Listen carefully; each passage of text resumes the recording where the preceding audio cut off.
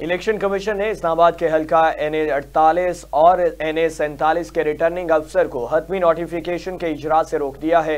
हल्का N A सैंतालीस का नतीजा पीटीआई के हमायत याफ्ता आज़ाद उम्मीदवार शुएब शाहीन ने इस्लामाबाद हाई कोर्ट में चैलेंज कर रखा है। मीडिया से गुफ्तु करते हुए शुएब शाहीन का कहना था कि मैंने और अली बुखारी ने दरख्वास्त दायर कर दी है। हमने रजिस्ट्रार ऑफ़िस से फौरी तौर पर समात मुकर करने की इस्तः की थी।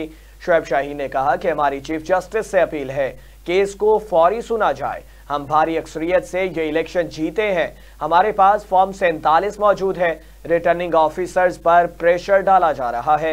एन ए सैंतालीस, इस्लामाबाद टू के निशस्त के तमाम पोलिंग स्टेशन के गैर हतमी नतीजे के मुताबिक मुस्लिम लीग नून के तारिक फजल चौधरी एक लाख दो हज़ार पाँच सौ दो वोट लेकर कामयाब हुए। जबकि यहाँ से आज़ाद उम्मीदवार मोहम्मद शोएब शाहीन छियासी हज़ार तीन सौ छियानवे वोट लेकर दूसरे नंबर पर मौजूद हैं।